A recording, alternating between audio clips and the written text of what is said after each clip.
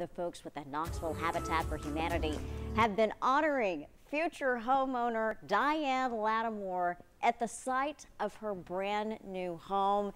And it's the moment we've all been waiting for. 10 News anchor Abby Ham standing by. You have keys in hand, I hope.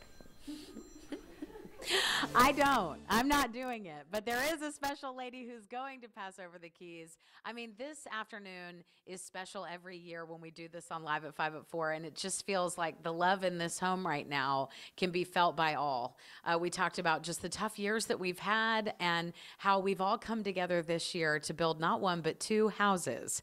And this is the moment we've all been waiting for. This is the key. You want to hold it up for dramatic effect?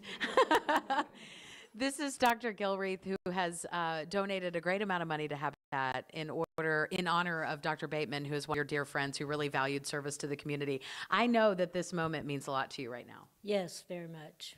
Um, you were able to match, they were able to match every dollar donation up to $50,000 and build two homes this year, not just one, which is more money than we've ever raised any year for the Knoxville Habitat Women Build, which is just incredible. So thank you, Dr. Gilreath. This is really special. Thank you.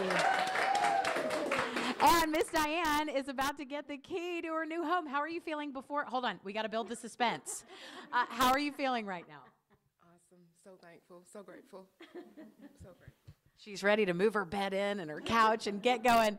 Uh, okay, so we won't we won't make you wait anymore. It is time to present the keys. oh, yay! what a moment. What a moment. You did great. Your first key presentation went off without a hitch. Diane, how are you feeling? I'm so happy. I'm so grateful. She's been crying this whole afternoon. She's so sweet. Uh, and your kids are here. Come here. Come here. How do you feel about this? You get to move in. I'm, I'm, I'm feeling grateful for it. I appreciate all of this. You guys have been amazing with this whole entire process. So Th- Your, your son, your other son, and I'm sure you're excited too. You, w- have you picked which bedroom you're getting yet? I have yet to already know decide, what I'm getting. but I probably will probably take that one right there. Okay, good. He's got his eye on one. Mama, get ready. Well, y'all, I, just congratulations. It warms my heart to see y'all getting this beautiful home and everybody who's come together to make it happen. So we, we appreciate it. I appreciate you. Congratulations. All right. Diane, let's show those keys one more time to the camera. Look at the little house. It actually is really cute. it's a really cute key.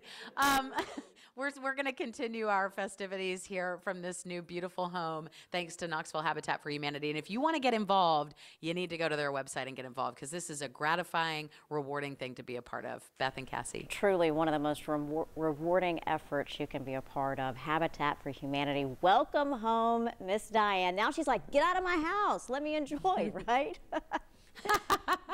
Get these cameras out of here. I know. Abby, thanks so much. We appreciate you sharing the moment with us so we all could enjoy it.